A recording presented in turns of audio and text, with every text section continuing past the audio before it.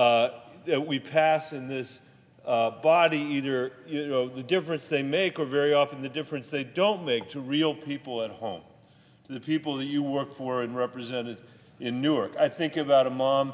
Uh, I say to my colleague from Ohio or Colorado, the presiding officer, uh, a mom in Rifle, Colorado, who was in uh, an early childhood center there.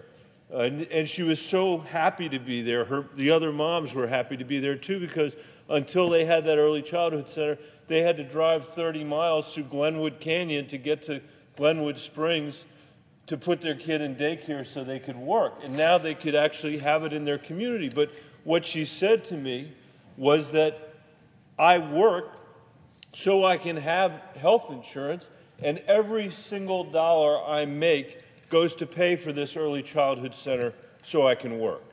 It's that triangle that so many Americans are caught in because we have had an economy that for 50 years has worked really well for the top 10% and not for anybody else in America.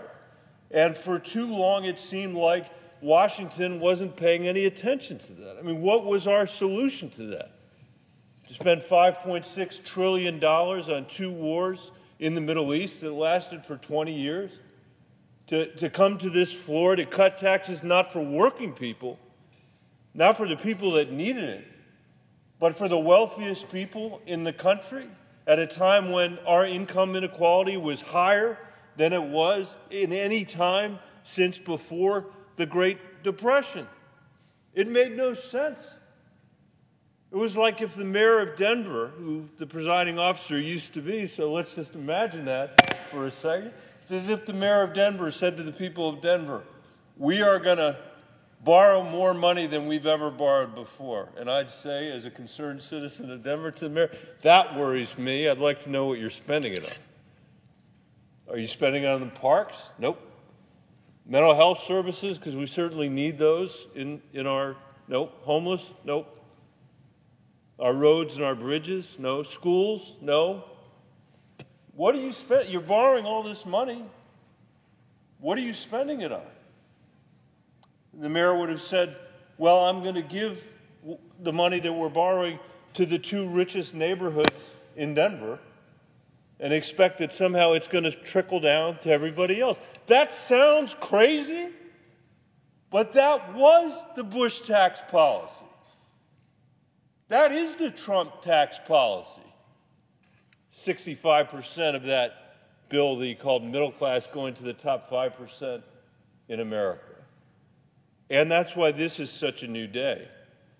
You know, I've said on this floor before that, that it's long past time we started treating America's children like they're our children, and that we wouldn't accept the conditions that so many kids live in unless we thought they were someone else's children. This country, as the senator from New Jersey has said before, this country is 48 or 38 out of 41 industrialized countries in terms of childhood poverty.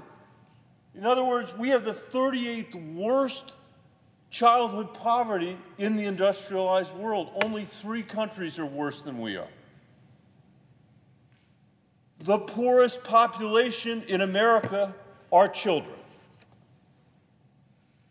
And we have some of the lowest economic mobility of any country in the industrialized world. We tell ourselves we're the land of opportunity, but we haven't looked like that for a very long time. And the policies that have been passed here haven't helped.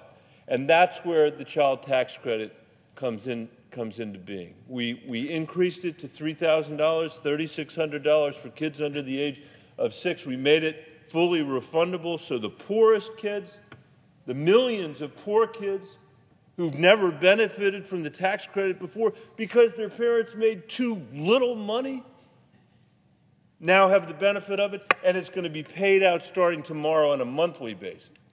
So when families are making decisions about how to pay the rent, put a little food on the table, buy a few hours of daycare so that they can stay at work and earn a living, they'll be able to do it.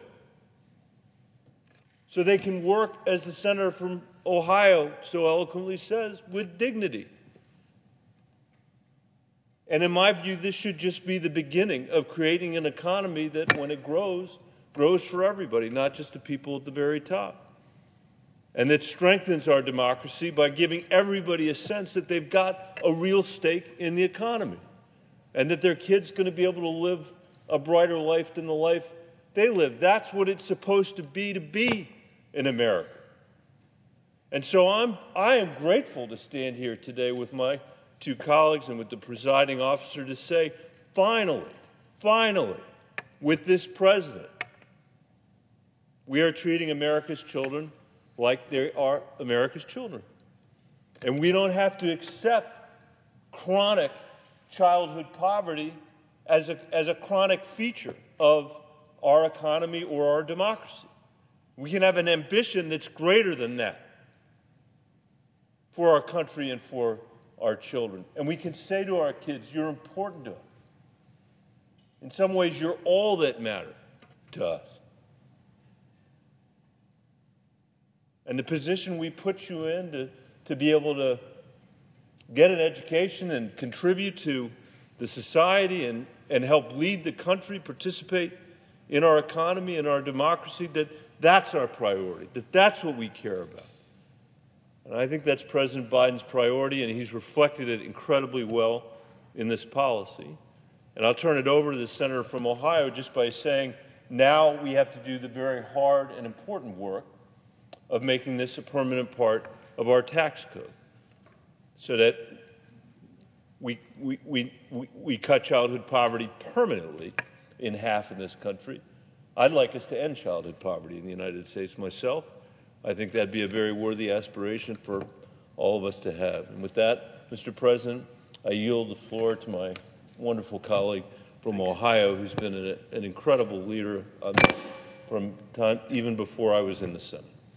Senator Bennet, thank you, Mr. President. Senator from Ohio. Thank, thank you, and, and, Michael Bennet, thank you for when you said this is a new day, and it's. I, I loved how you set that up. The mayor of Denver gives a tax cut, or at least pours money into the richest neighborhoods in Denver.